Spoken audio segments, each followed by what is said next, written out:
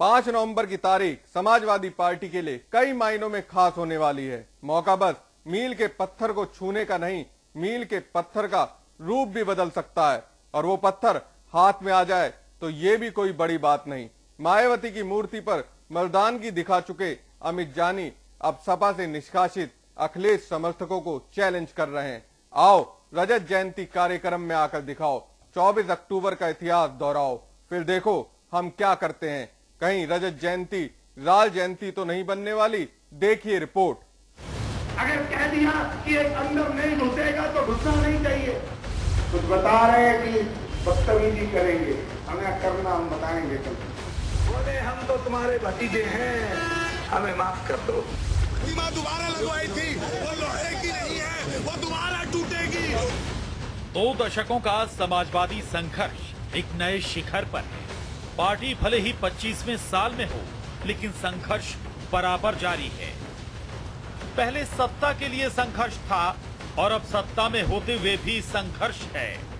और इस संघर्ष को समझने से पहले अमित जानी के अल्फाज सुनिए। चौबीस तारीख में बैठक की यहीं और यहाँ बैठक में वो लोग भी आ गए जिनको पार्टी से बाहर का रास्ता दिखा दिया गया था। अगर हम समाजवादी पार्टी के कार्यकर्ता हैं तो माननीय मुलायम सिंह यादव जी ने जो कह दिया, जो शिवपाल जी ने कह दिया, वही आखिरी आदेश है इसके अलावा कुछ नहीं। कोई इस पट की गुंजाइश नहीं। पाँच नवंबर समाजवादियों के लिए ऐतिहासिक दिन है। लेकिन कुछ ऐसे भी समाजवादी हैं, जो खुद इतिहास बने हुए हैं। कभी वो साइकिल वाला झंडा उठाते हैं, आज उनको डंडा भी नसीब नहीं है। लेकिन अमित जानी के शब्दों को समझें तो उनके स्वागत के लिए डंडा ज़रूर तैयार है।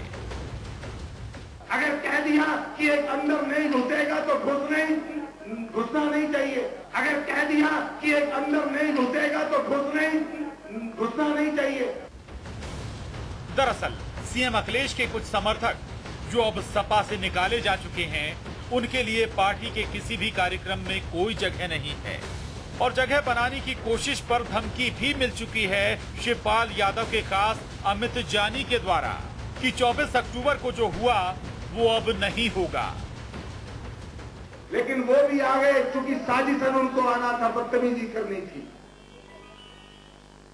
हिम्मत हो जाए पार्टी में, पार्टी को जन्म देने वाले से बात कर रहे हो तो बीच में जवाब दिया जा सकता था। लेकिन बरसात में तालाब तो हो जाते हैं कमजर बाहर कभी आपे से समंदर नहीं होता। क्योंकि समंदर को अपनी मर्यादा का पता है, अगर समंदर मर्यादा लांगता है तो क्या होता है, ये भी सबको पता है। यही मानना है कि मुलायम सिंह यादव और शिवपाल यादव हमारे नेताओं को कह दिया है कि जो चौबीस तारीख में हुआ, पाँच तारीख में नहीं होने देना। 24 अक्टूबर को सपा की बैठक में चाचा भतीजे में तो खींचतान हुई ही थी।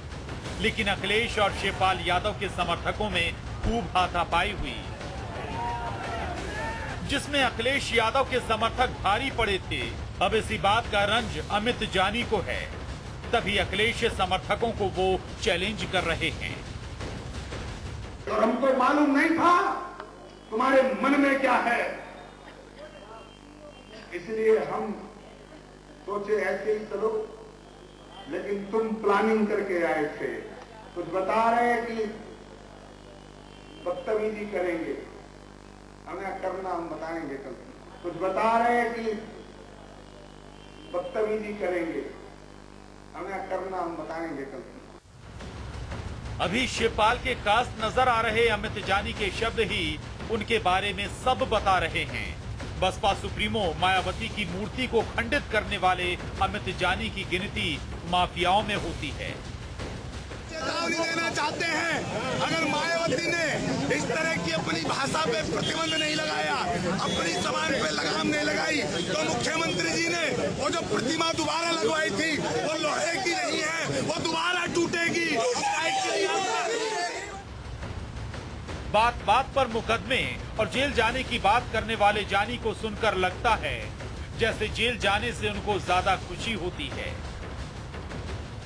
हमारा भी तो फ़र्ज़ है, अगर हमारे नेता के मान सम्मान के लिए हम खड़े हैं, अगर हमने अपने नेता के मान सम्मान के लिए दस दस बीस बीस मुकदमे झेले हैं, लाठियाँ खाई हैं दो दो तीन तीन साल की जेल काटी है तो क्या हम आगे मजबूती से खड़े नहीं रहेंगे? अखिलेश के समर्थकों को धमकी देने वाले अमित जानी पर पहले भी कई मुकदमे हैं। मायावती की मूर्ति को तोड़ने के बाद से लोग इन्हें जानते हैं, लेकिन निष्ठा इनकी सपा में भी नहीं रही। जनवरी में मुजफ्फरनगर सदर सीट के उपचुनाव में सपा से बागी तेवर दिखाते हुए निर्दलीय पर्चा भरा था। यहाँ तक कि मायावती के जन्मदिन पर केक काटते हुए अखिलेश और शिवपाल पर भी तंज कसा था।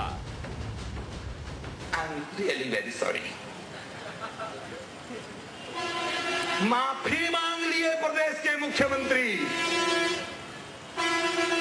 बोले, हम तो तुम्हारे भतीजे हैं। हमें माफ़ कर दो। I'm रियली वेरी सॉरी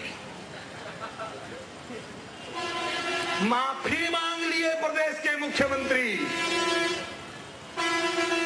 बोले, हम तो तुम्हारे भतीजे हैं।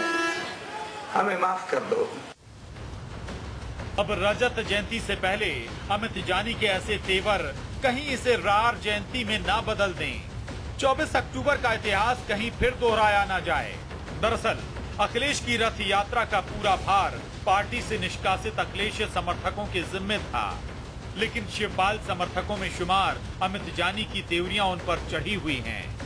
देखना होगा, इस ऐतिहासिक दिन एक और इतिहास न बन जाए और संघर्ष की श्रृंखला में एक और कड़वा कीर्तिमान स्थापित हो जाए। ब्यूरो रिपोर्ट के साथ यदवीर सिंह, समाचार प्लस।